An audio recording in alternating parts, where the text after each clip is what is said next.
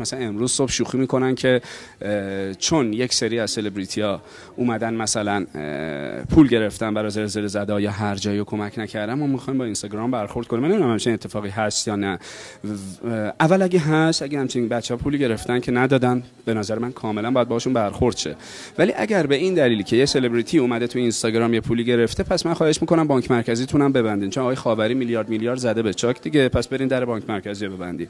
به جرم یک نفر نمی‌تونین شما با یک مسئله تأمین بدین و سعی کنین که مردم رو بذارید مقابل همدیگه به اعتقاد من مهم اینه که واقعا هممون یادمون باشه که الان تو شرایطی که الان هممون تو شرایطی هستیم که اگر دست به دست هم ندیم و پشتمون به هم دیگه گرم نباشه به نظرم خبرهای خوبی در آینده نخواهیم شنید.